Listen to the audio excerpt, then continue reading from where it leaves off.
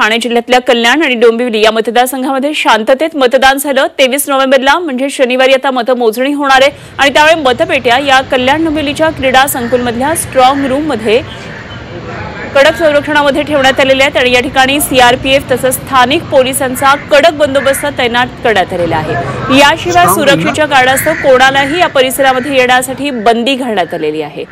आणि याचाच आढावा घेतलाय आमचे प्रतिनिधी आतिश भोईर यांनी. राज्यात दोनशे अठ्ठ्याऐंशी विधानसभा मतदारसंघामध्ये काल मतदान पार पडलं. कल्याण डोंबिवली कल्याण पश्चिम कल्याण ग्रामीण या ठिकाणी शांततेमध्ये मतदान पार पडलेले आहे. मी आहे डोंबिवलीच्या क्रीडा संकुलमध्ये. आपण पाहू शकता की जो ज्या मतपेट्या आहेत काल मतदान झाल्यानंतर काल रात्री मतपेट्या ज्या आहेत त्या स्ट्रॉंग रूममध्ये ज्या आहेत ठेवण्यात आलेल्या आहेत. त्यासाठी पूर्णतः सुरक्षा जी आहे ती ठेवण्यात आलेली आहे.